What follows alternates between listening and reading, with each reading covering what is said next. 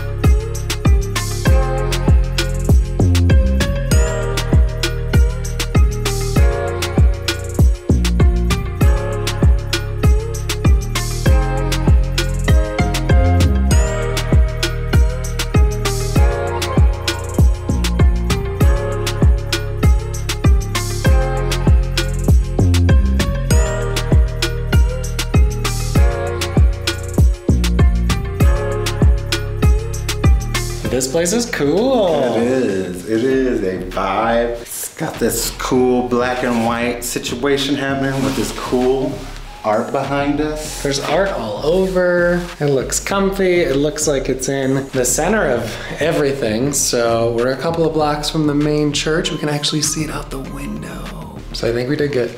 Yeah, we did spend a little bit more than we usually do. But it's worth it. Yes. San Miguel, I think overall, is going to be a little pricier than our normal adventures.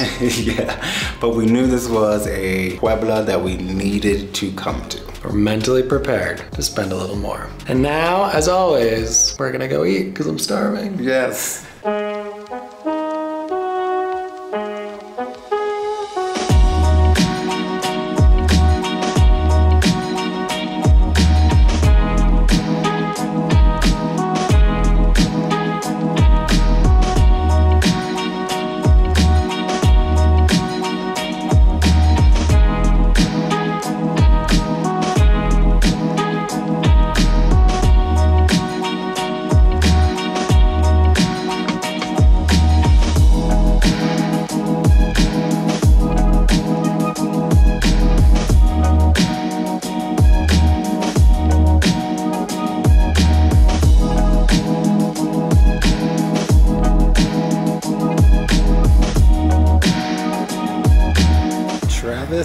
Is at home sick, so I am trying to get over my fear of going to places by myself. So I just discovered this amazing park here in San Miguel, so I'm gonna go walk around.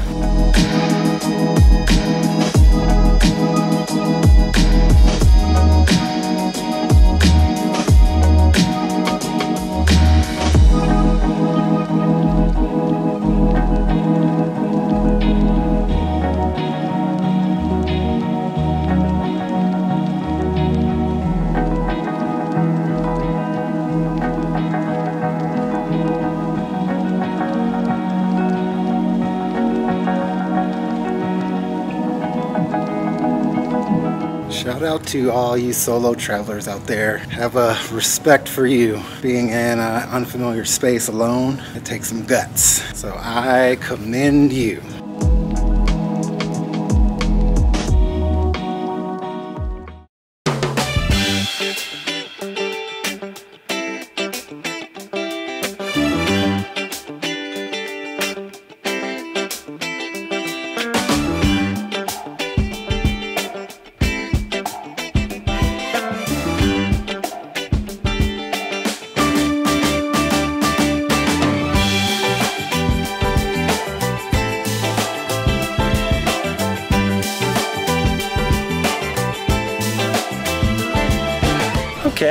I was taken out for a night. but it helped me face my fears of going out alone, and I just got to see this beautiful place at night. So after 12 hours, I am back. I'm human, and we're exploring San Miguel. And it is incredible. It feels like a movie set. Yeah, like, it really does. It's a UNESCO World Heritage site, the whole city, and you can just, everything is so pristine and gorgeous.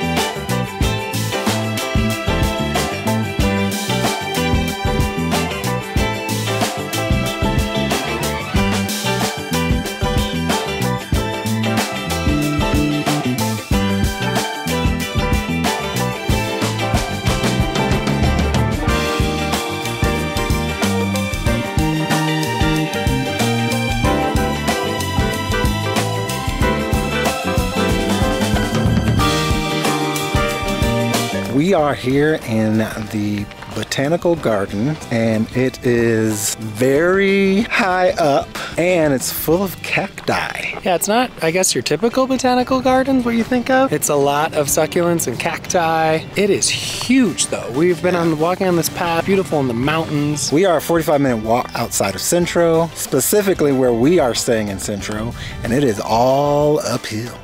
So we started to walk and then we're like, let's take a taxi because it closes at 5, which seemed like a great idea. I'm not sure exactly how we're going to get back because it doesn't seem like taxis just roam around up here.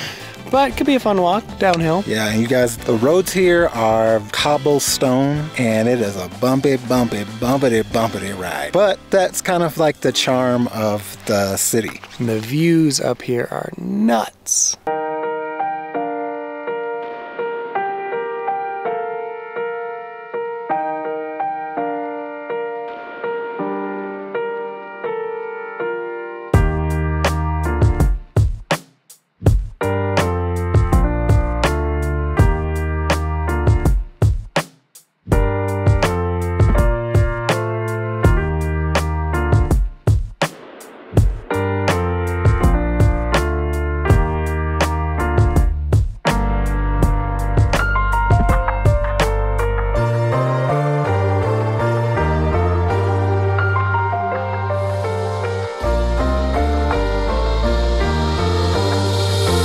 I feel like the camera is not capturing how big and scary this spider that we just walked under is. But he has, he or she, she? Oh, it's she. I read Charlotte's Web. She has 58 smaller insects caught in her web and is just sitting in the middle like, whose web is this? Yeah.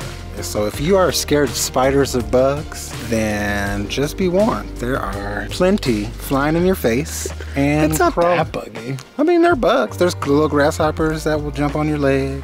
This feels so nice to get in. This feels so nice though to get like into nature. Are you okay? There's just gnats on my face. Oof, and coming like right in the afternoon too. It's like a cool breeze. Feels amazing. It's interesting to look out and see like where we're staying, and then to know like beyond that, it's just this beautiful landscape of these rocks and cacti and these insects. It's just nature is cool.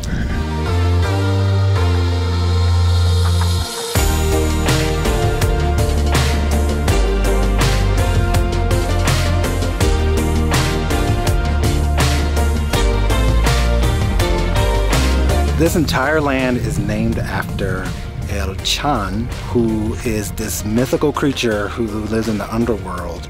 And when you approach the waters, which are shown down there, then it shows its power. The water changes color during the year, and its source is a natural spring here in San, San Miguel de Allende. I think one of the last ones.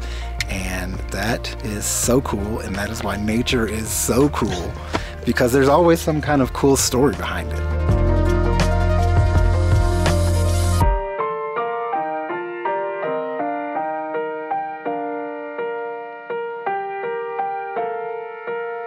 So I think botanical gardens might be a bit of a misnomer, at least my understanding of it. This is more like a nature reserve and a really cool area to hike around and just enjoy, you know?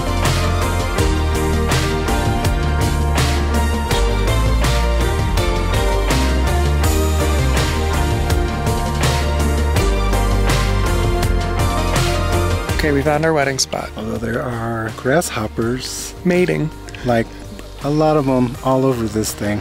We just took um, like all these nice pictures, and then I was like, "What are these?" Oh, it's the birds and the bees and the grasshoppers. And the tree. We're not the only ones to find this place romantic.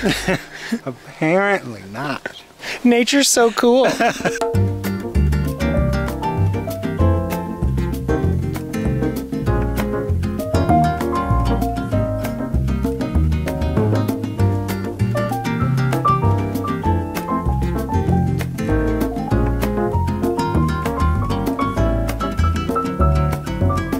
So we took a taxi up here, and now we have to walk all the way down because there are no cars that come up here unless they're going, I mean, to a house or to drop someone off at the botanical garden. These are some beautiful properties we're walking by. Oh my gosh. Some- So San Miguel de Allende is wealth. Especially up here. My God. Yeah, because the views are insane.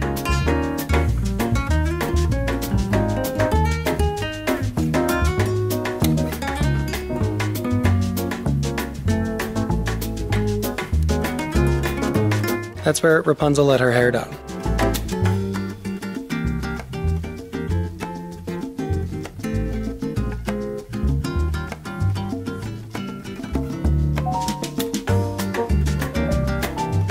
Just some casual sheep.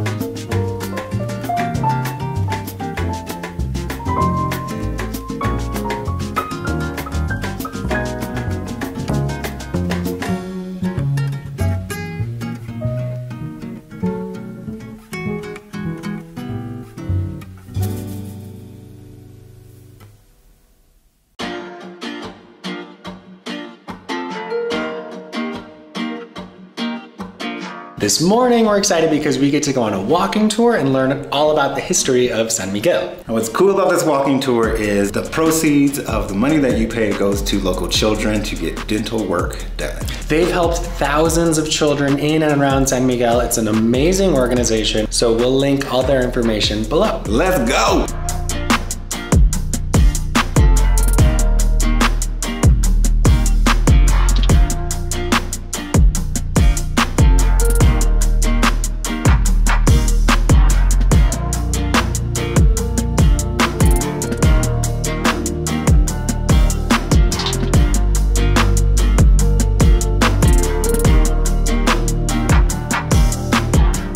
That was an amazing walking tour led by An awesome tour guide named Dali. He's certified. He was so knowledgeable. I feel like all the tour guides we get, I just want to hear them talk for days and days and days. Because you know, they're only giving you like a snippet of what they know. And we won't spoil the whole thing for you. So you should come and go on the tour. But my favorite part was he told us about a church that was run by a group of Franciscan friars. It took them like a hundred years to build. And then a new group of Franciscan friars joined the friary, and the old friars were kind of like, Who are these young upstarts? They're too loud. And the young friars, to raise money to build a new church, actually arranged bullfights in the square in front of the church.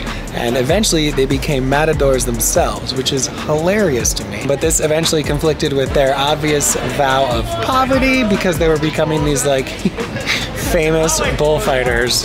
and so they had to shut the whole thing down. Uh, my favorite part was there's another church that the facade up front of it has like this big shell on the front, and it was donated by this nice wealthy family that uh, was here. And on the front of it was the, you know, like on the dollar the pyramid with the eye on top, which originally started from the Egyptians, the Eye of Horus, and then it transitioned into the Catholics using it as the all-seeing eye of God, and uh, then it was uh, transferred into using it for the Freemasons and the Illuminati. I'm sure you've heard of them. And someone stole the eye that was on top of this uh, facade because they didn't want anyone to think that San Miguel de Allende was associated with the Freemasons or the Illuminati. So it was stolen. No one knows where it went. No one knows when it was taken. No one knows who took it. But they do not want to be associated with the Illuminati. Not in San I don't blame them because But the whole thing was super interesting, and it was just great to know that all of the proceeds were going to help local children get access to healthcare. So that's just like two birds, one stone. You get a great historic tour of downtown, and you get to contribute to the local community. all in the most perfect weather. Just Every day is just like no clouds, beauty, sunshine, amazing. But now we need to go find food because we are starving. Yes.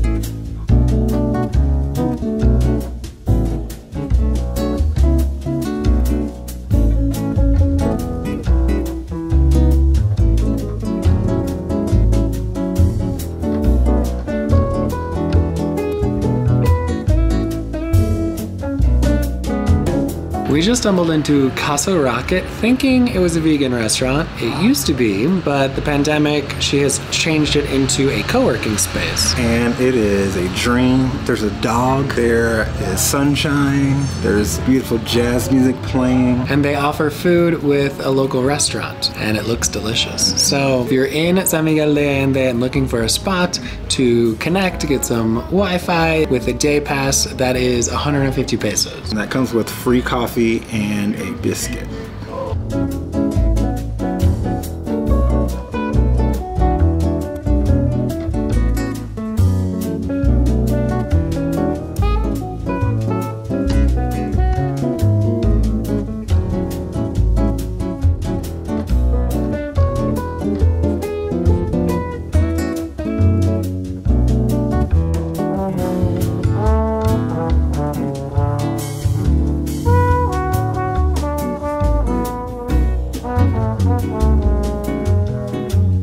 Were told to come check out La Fabrica de Aurora, which is an old factory that has been turned into kind of like an artist's co op.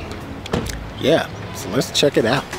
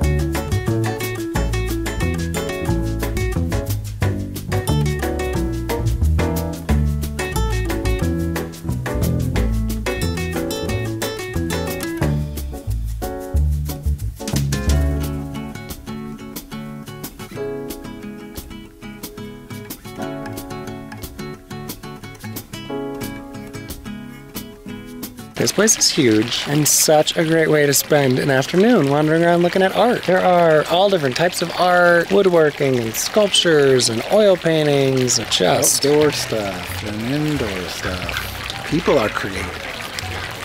a little outside our budget at this moment in time, but hopefully one day we'll be able to come back and drop a couple hundred thousand pesos on some of these works.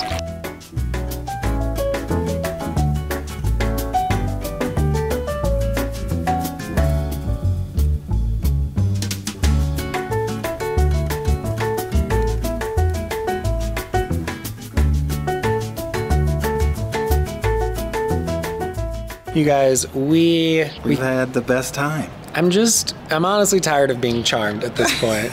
I would like Mexico, please stop. Because I just would, for once, like to go somewhere and be like, mm, it's not, it's not it. Everywhere's beautiful. Everywhere's magical. All the people, everything. I can't even like form a sentence. It's so great. San Miguel, we have truly enjoyed. Hopefully, you saw that in the last couple days that we've spent here. We do have one more surprise coming in an upcoming video. It's gonna be a good one. So if you're not subscribed yet, what are you doing? Subscribe, hit the like, all the YouTube things, but get on board. Now. We want to send a special shout out to our new Patreons, Stephanie, Marilyn, Scott, Tim, and Polly. Thank you guys so much for being our new patrons. That is awesome. And if you're not a patron yet, join our Patreon. You can sign up on our website, cafeconlechetravels.com. There's a link below. And when you join, you become a member of the Cafeino crew, a private group where you get exclusive access to us and your fellow cafeínos. So get in here. Do it What are you waiting for? now. We come out with new videos every Thursday, so make sure you do all of the YouTube things. All right, here comes our tagline. Hasta luego! We'll see you next time.